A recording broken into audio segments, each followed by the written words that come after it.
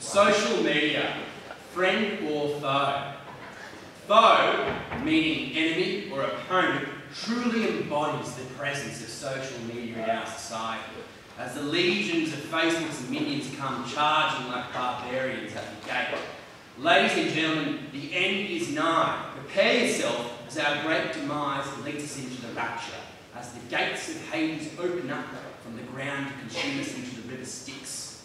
Forget the epidemic of drugs, disease, hunger, or any other problem that plagues society. Social media is the foe. The great conspiracy that captured Harold Holt, the entity that allowed New South Wales to be in origin, and the reason why literally everyone on earth must know tummy hair, skincare routine. Ladies and gentlemen, prepare yourselves for Judgment Day, as His Eminence Mark Zuckerberg will rain down wrath from the heavens, sitting upon his throne and laughing at us. And as he lays down his reign, he will boldly claim, I am Ozymandias, King of Kings. Look upon my works, ye mighty in despair. And as such, that marks the capitulation of our freedom as individuals. The error of Orwellian's thousand years, and nothing is no longer sacred. Now, ladies and gentlemen, I imagine that all of you are thinking I'm being quite melodramatic, and I perhaps that my love for arts and dramatic flair take precedence here. That's exactly what I'm doing. Uh, as this notion of social media being categorised into a foe. It really isn't as much of an issue. I mean, it, it's, it's, and if you forgive my drama, I shall explain why. Look, the, the endless news articles, the meandering talk shows, and the pretentious academics frame social media as this flavour of the month topic to paint as a drastic problem, all while espousing nothing, nothing other than intellectual fast food. The reality is, is that social media isn't any greater a threat to society as does the 1987 Daihatsu charade.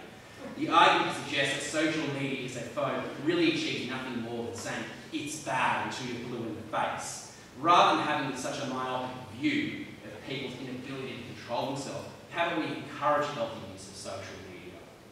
The opportunity to share photos with friends and family and stay in touch are just mere methods of communication in the modern world. I am, however, in no way suggesting that social media is free of sin. But to say that social media endorses this culture of vanity and bullying that we see constantly is a broad statement that is a bad side effect of a growing world. At its core, it is social, social media is nothing more than a platform that allows people to share ideas, photos, and videos. This then begs the question, is it the platform or the people that create the problems? It's analogous to the adoption of, say, the motor car. We can see that car accidents are part and parcel of the use of cars. But it revolutionised the way we travel from horse and car. Is it the human error or mechanical failure that causes these accidents? And it's a combination of both, and the same is applicable towards social media. But by outrightly categorising social media to friend or foe, fails to understand the nuances that come with it. Its operative function is quite neutral, really, but like anything it can be abused. It's like fire. You can cook, you can warmth, but you can always use fire to destroy. Social media is this mutual entity that we work with. Instead, I propose this idea.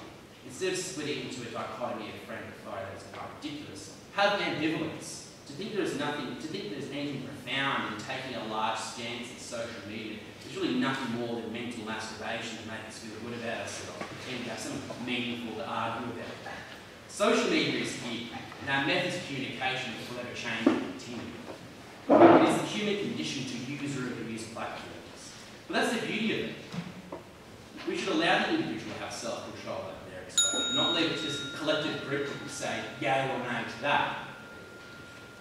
To say that social media is really a friend is like saying your mate from work is your friend. Sure, you can put up with maybe, just maybe, is this equal with the personality you relate to, but you're in no rush to pop back home for a family dinner, meet your wife and kids.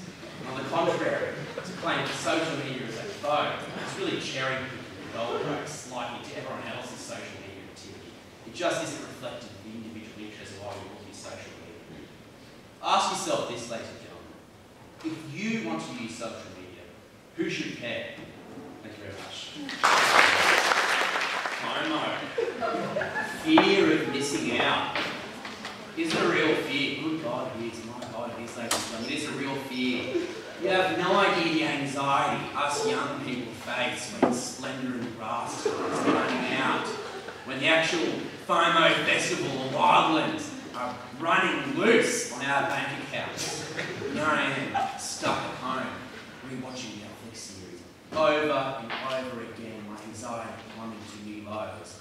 And as I flip through Instagram, a nice good thing from last top, last, that last topic of social media, I see everyone else enjoying themselves. And what I get? A horrible, distraught fear. You know why? Because I'm missing out.